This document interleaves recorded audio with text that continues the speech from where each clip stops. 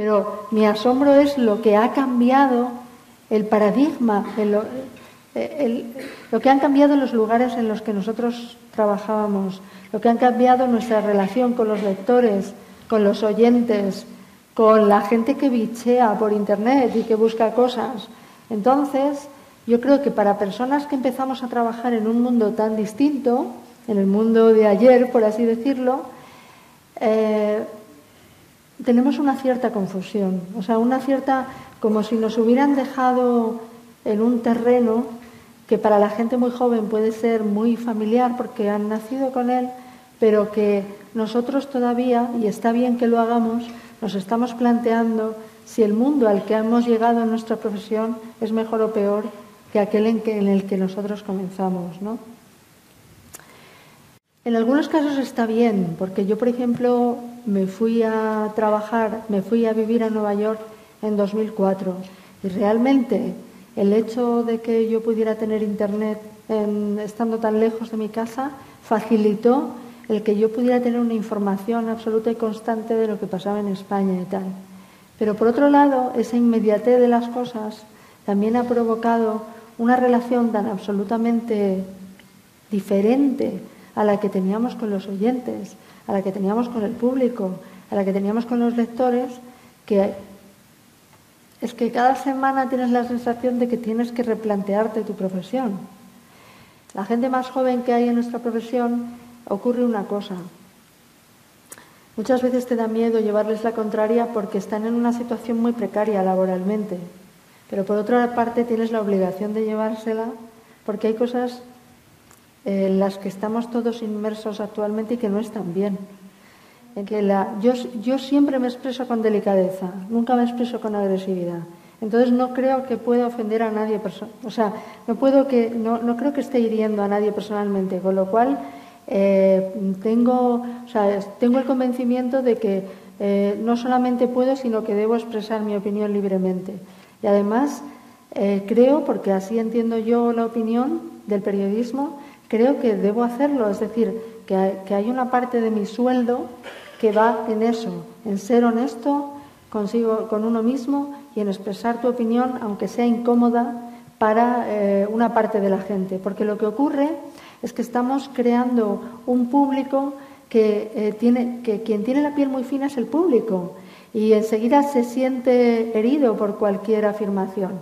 Tú nombras, con respecto al que hice de la Semana Santa, para mí fue muy sorprendente, siempre te sorprende la agresividad, pero sobre todo te sorprende cuando el, contenido del artículo no era en absoluto agresivo, simplemente era decir, ¿no está siendo esto excesivo? ¿Puedo pensarlo sin que sea un pecado y puedo expresar que a lo mejor me parece esto excesivo? Punto. O sea, mientras yo expresaba esa opinión, que lo que me parece extraño es que fuera tan única en la prensa, porque yo creo que se decían cosas, más cosas así hace 15 años, mientras yo expresaba esa opinión, había gente eh, que le gustan las procesiones, que a mí me parece muy eh, respetable, había gente que se sentía atacada y decías, ¿por qué? En la primera cadena había información sobre todas las procesiones en España a todas horas. Había misa en la segunda cadena por la noche, el, Santo Oficio. Eh, pues no sé cuánto tiempo duró, un montón. En Telemadrid ya ni te cuento. En Canal Sur, ¿qué, te voy a contar?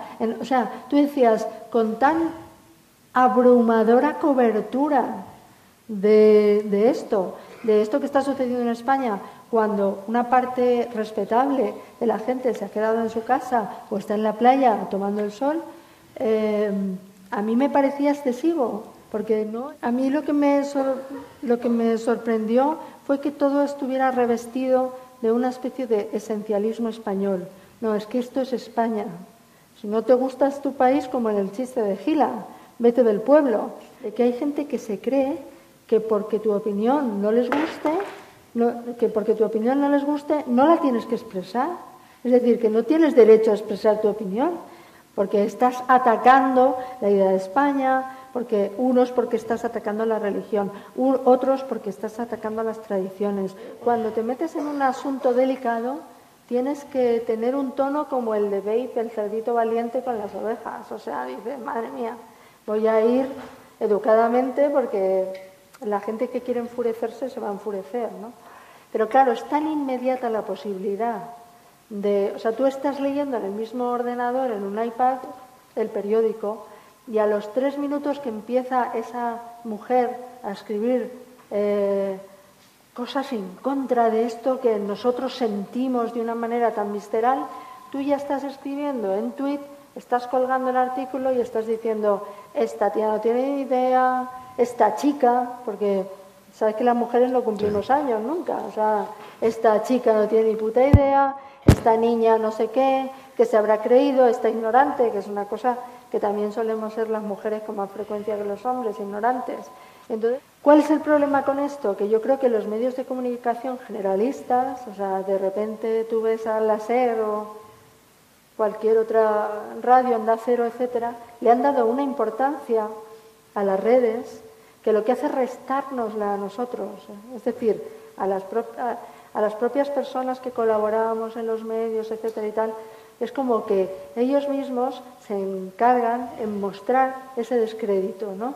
En decir, ha habido no sé cuántos, arden las redes, etcétera.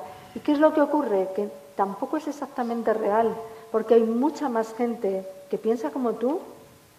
Lo que ocurre es que yo creo que esa gente que piensa como tú, a lo mejor es más educada.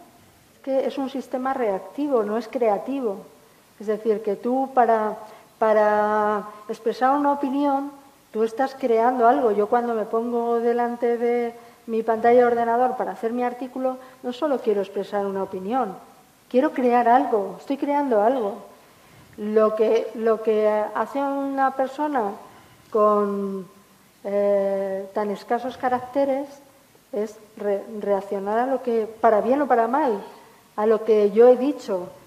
Eh, y, creo, por otra parte, que, en, la propia personalidad de Donald Trump eh, funciona muy bien a través de Twitter, porque no creo que sea una persona, mm, tú lo has escuchado, no creo que sea una persona capaz de sostener un discurso articulado durante mucho tiempo, con lo cual esa expresión tan corta y tan visceral y tan reactiva, pues eh, para el carácter psicológico de Trump creo que va muy bien. Ahora, no te deja de sorprender que el presidente de los Estados Unidos, porque a pesar de ser Donald Trump, hay cosas que a uno no le dejan de sorprender. Entonces, no te deja de sorprender que sea una persona que esté viendo la tele y que esté reaccionando por Twitter ante lo que está viendo. A mí me sorprende, o sea, no te deja de sorprender que él esté un sábado por la noche, esté viendo a Alec Baldwin hacer de, de Donald Trump y el presidente esté diciendo, vaya actor, es una mierda, no tiene éxito, por eso está ahí, y esas cosas que dice Donald Trump, pues a mí mm, me inquieta muchísimo, porque pienso que esta persona tan estúpida tiene en sus manos la posibilidad de llevarnos a una guerra nuclear, porque creo que los políticos abusan de Twitter, sinceramente. Eh, y hemos visto las crisis de Podemos en Twitter, las que a mí hay veces me han dado vergüenza, las crisis del PSOE en Twitter, eh, gente del PP que de repente dice una cosa em, completamente misógina o tal y la dice por Twitter para la que se te puede liar sin haber dicho nada o sea, sin, sin haber dicho nada hiriente, la que se te puede liar porque eh, ofendes el orgullo local, porque ofendes las creencias de una persona, porque ofendes a determinado grupo, porque está todo el mundo tan preparado para ofenderse que es como si tuvieras que estar escribiendo con papel de fumar. ¿Qué es lo que hago yo? Pues mira, ya escribo lo que me da la gana. Porque da igual, o sea, eh, eh, donde menos te lo esperas salta la liebre. Siempre hay una persona indignada. Es que da igual. ¿Qué es lo que, qué es lo que yo creo que, que puede sobrevivir, por ejemplo, en términos humorísticos ahora en estos tiempos que vivimos? Pues la ordinariez. O sea, yo creo que en estos tiempos que vivimos flota mejor en este ambiente algo que sea muy grosero a una persona que haga humor del, como el mío, que era como el de toda la vida, de la tradición española, de, pues yo qué sé, de Javier Poncela, de Miura, de, ¿no? Era un humor muy clásico español. ¿Ha mermado el sentido del humor porque se ha estrechado la libertad de expresión? Eso es verdad, porque al final eh, yo se lo digo a amigos míos que escriben sobre la libertad de expresión y tal, ¿no? Al final, ¿qué prevalece? Pues la gente que le da igual todo, la gente que va a decir algo grosero, algo ordinario, ¿sabes? Que va a decir, pues al final, ¿qué es? El me cago en Dios de toda la vida, el todo eso, y no es mi estilo. Entonces, pues eh, lo que ocurre es que prevalecen los que, los que tienen esa especie de, mm, en sí mismo, un, humor muy tosco. Ahora también hay una cosa que me preocupa, y esa es esa especie de, de nosotros, de colectivismo que se crea, ¿no? de colectividad, de grupo, ¿no? porque se está metiendo con nosotros, se está metiendo con nuestras tradiciones, se está insultando nuestras creencias, está, ¿sabes? Y tú dices, a mí este plural no me gusta, yo no lo uso jamás. Yo no digo nosotros los españoles, no, yo soy, yo soy una española que piensa lo que le da la gana, faltaría más. Me van a decir a mí la gente lo que tengo que pensar y te estoy en mi perfecto derecho a expresarlo, a vivir en mi país y a disentir de lo que no me gusta. Yo no apoyo o sea, yo no apoyo un partido ciegamente, para nada. Y en España es como que, o sea, yo no sé en qué consiste tener una ideología, pero si se trata de tener una serie de ideas cerradas en una burbuja, no la tengo.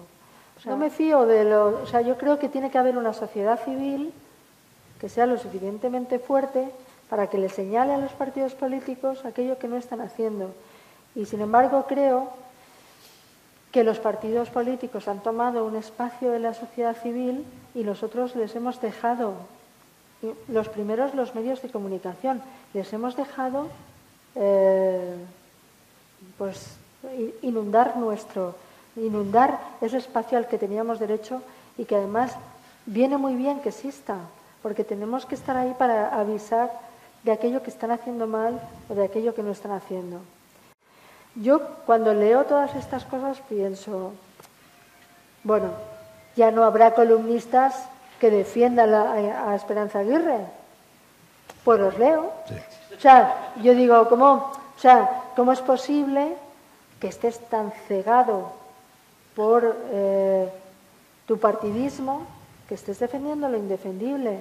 Entonces yo me lo explico por la escasa educación democrática. Es decir, hay personas, primero, que son de derechas, o sea, y que votan a un partido de la derecha, y que la corrupción no les va a echar para atrás porque tienen la idea muy poco democrática, por otro lado, de pensar eh, si todo el mundo lo va a hacer, si lo van a hacer todos, prefiero que lo hagan los míos a que lo hagan los demás. Yo creo que en otros países eh, está más castigado pero está más castigado no ya en los tribunales, está más castigado en la opinión pública, que es donde tiene que estar verdaderamente castigado. Yo ahora escucho muchas veces todo eso de ese que vaya a la cárcel, a la cárcel, la gente todo lo arregla con la cárcel. Dice, no, pero si los que tenemos que cambiar un poco somos nosotros, ¿no? Entonces yo, yo creo que hay algo de educación ciudadana. Yo, entonces, en, esta especie de acción-reacción que vivimos, y de reacción tan inmediata, primero creo que muchas veces no se lee hasta el final, muchas veces tienes una idea preconcebida de lo que piensa la persona que ha escrito el artículo porque has oído que es así o que es así, y entonces eh, vas, vas a... Yo creo que vas a opinar sin leer muy bien lo que, lo que estás, sin entender muy bien lo que estás leyendo o sin querer entenderlo.